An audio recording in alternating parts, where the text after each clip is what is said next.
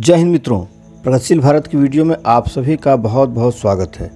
आज है 15 सितंबर, दिन बृहस्पतिवार, और आज एक बार फिर से हम गाजीपुर, बलिया माझी घाट ग्रीनफील्ड हाईवे की कुछ ताज़ी जानकारी के साथ आपके बीच प्रस्तुत हो रहे हैं दोस्तों।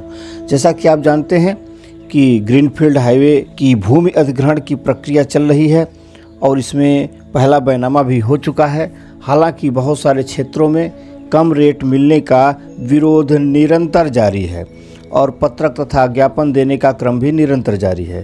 तो आज इस वीडियो में आपको बताने वाले हैं कि कल कहाँ कहाँ पत्रक दिया गया और इसकी अपडेट क्या है भूमि अधिग्रहण की और जो बलिया में तहसीलदार महोदय के प्रमोशन के कारण मामला अटका हुआ था, पेच फंसा हुआ था ज़मीन के बैनामे का, उसमें नई अपडेट क्या आई है। तो वीडियो अंत तक देखिएगा, स्किप मत करिएगा दोस्तों। और अब तक अगर आपने मेरा चैनल सब्सक्राइब नहीं किया है तो प्लीज़ पहले चैनल को सब्सक्राइब करके घंटी दबा दीजिएगा और आल नोटिफिकेशन सेलेक्ट कर लीजिएगा, ताकि आने वाली किसी भी नई वीडियो की पहली नोटिफिकेशन आपको प्राप्त हो सके दोस्तों। नमस्कार दोस्तों, मैं हूँ तारकिशोर सिंह अजीत, और आप देख रहे हैं मेरा YouTube channel Ajit Anjali.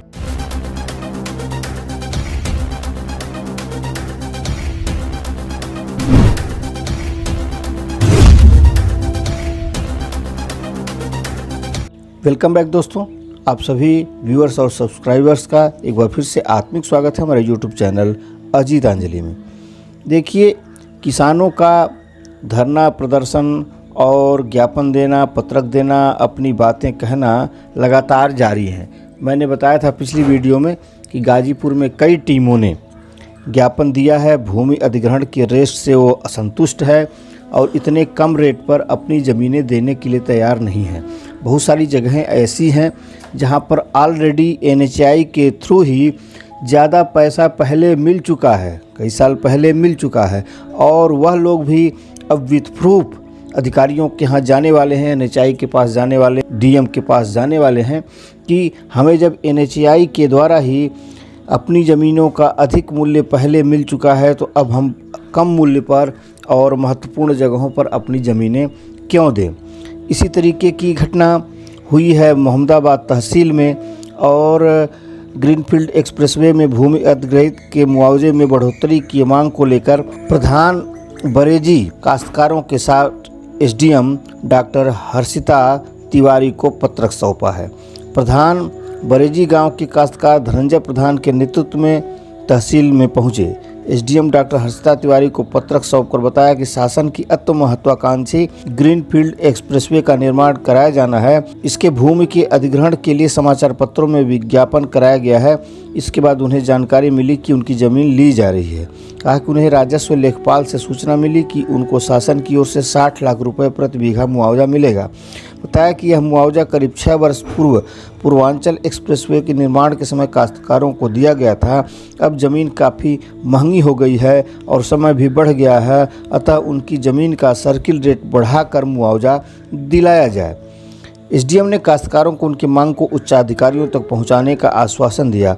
पत्रक देने वालों में विनोद प्रधान, अजय प्रधान, विजय शंकर यादव और अभिमन्यु प्रधान आदि शामिल थे।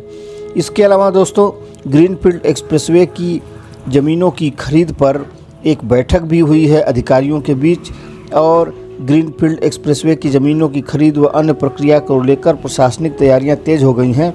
बुधवार को सीआरओ की अध्यक्षता में अधिकारियों की बैठक हुई, जिसमें खासकर 26 गाँवों के कर निर्धारण को लेकर चर्चा भी हुई।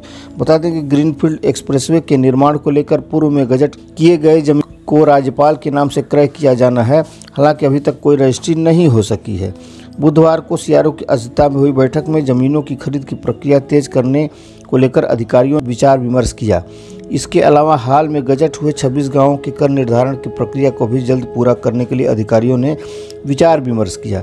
बैठक में सीआरओ अनिल अग्निहोत्री के अलावा एन के पीडी, यूपीडा के अधिकारियों के साथ ही एसएलओ उपेंद्र सिंह मौजूद रहे।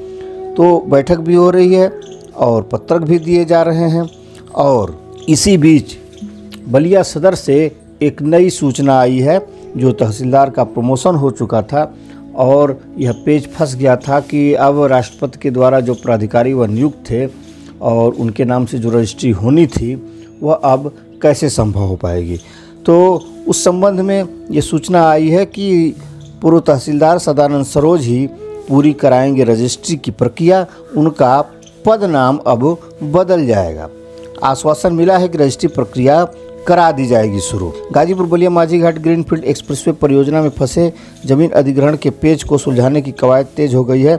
तय हुआ है कि अब सदानंद सरोज ही क्रय अधिकारी रहेंगे, उनका सिर्फ़ पद नाम बदलेगा।